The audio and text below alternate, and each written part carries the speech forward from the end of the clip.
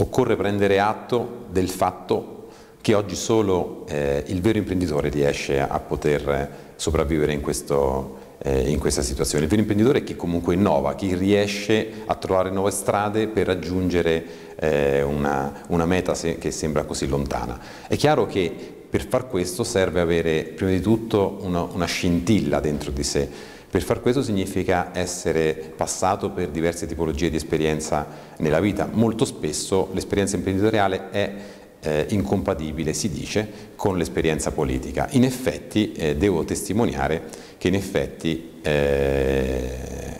il politico che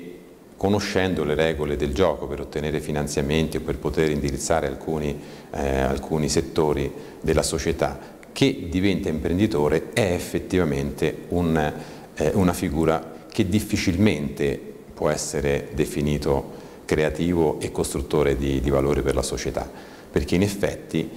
è molto più facile il percorso inverso sostanzialmente. Questa è una verità che bisogna conoscere. Oggi troppa parte dell'imprenditoria è occupata da, eh, non dico da persone, ma da mentalità legate a, diciamo, eh, alla regolamentazione, quindi alla logica politica del potere e dell'inquadramento e della regolamentazione dello, dello, stesso, dello stesso, mercato. Eh, oggi noi siamo testimoni eh, di eh, leggi eh, sull'antitrust che dovrebbero garantire la concorrenza che possono essere utilizzate in maniera così distorta da invece annichilire la concorrenza, permettendo a degli acquirenti di poter eh, entrare nella gestione di un concorrente che debbono lasciare di lì a sei mesi perché avrebbero avuto una concentrazione di potere troppo rilevante, di poterne gestire i processi produttivi, produttivi acquisirne il know-how e poi rimetterlo sul mercato essenzialmente depauperato e quindi come una scatola vuota. È evidente che un certo tipo di applicazione della norma non fa che favorire la costruzione di, eh, di monopoli.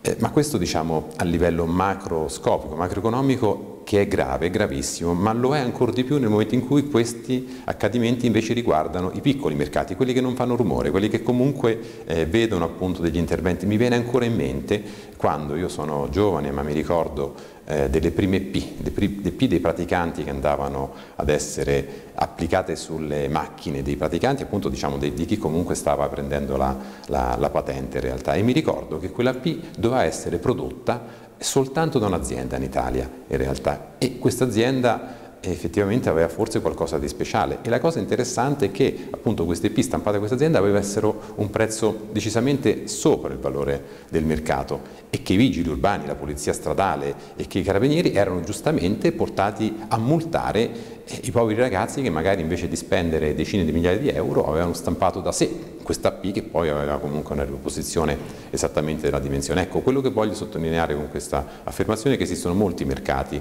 regolamentati, a volte diciamo appunto per leggi, per regolamenti, per norme, per prassi, per abitudini, che in effetti vanno annichilire l'imprenditore che invece vorrebbe inventare e favoriscono invece gli imprenditori, non con la I maiuscola, che invece tendono a sfruttare delle regole eh, molto spesso poste proprio per facilitare alcuni tipi di, eh, di, azioni. È evidente che non è così che si fa scuola di imprenditoria, così si va esclusivamente a favorire l'evoluzione di una specie imprenditoriale che non è sicuramente quella che ci porterà ad essere vincente in campo internazionale. Non credo che i nostri grandi nomi, i nostri grandi marchi abbiano potuto sviluppare e, eh, la propria attività eh, sfruttando dei regolamenti e non invece la loro geniale creatività.